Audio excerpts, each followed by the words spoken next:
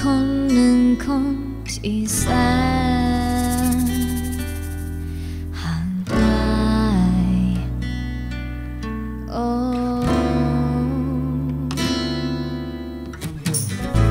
ป่านนี้เธอคงหลับไหลไปไหน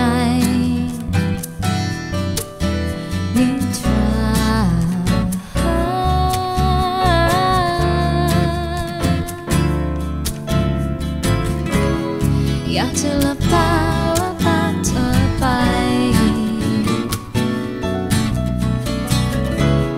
แต่ตอนยังไงก็ไม่เคยทำ